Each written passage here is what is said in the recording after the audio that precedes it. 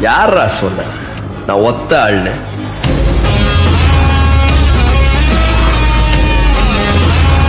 அற்பர்களின் ஆட்சியினாலே அற்பர்களின் ஆட்சியினாலே அவதிப்படுகிறோம் தமிழ்நாட்டிலே தூக்கியான பல திட்டங்கள் தீட்டி சுட்டு தள்ளுறார் மக்களின் உயிரை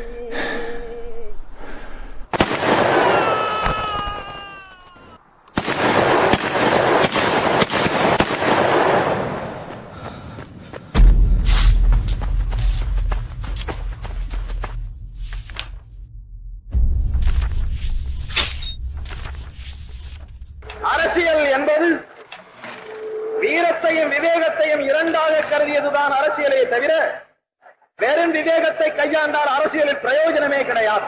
அக்காலத்திலே கப்பலோட்டிய தமிழன் Subramaniya Sivam Subramaniya Bharathi V V S Iyer Vanchi Iyer போன்ற மகாவீரர்கள் வீரத்திற்கு வீரமாய் ஆயுதம் பிடித்து சண்டை செய்யவும் தயாராய் அத்தோடு விவேகத்துக்கு விவேகமாக பிரசங்கம் பண்ணவும் தயாராகிய வீரர்களாக திகழ்ந்த காலம் அந்த காலம்.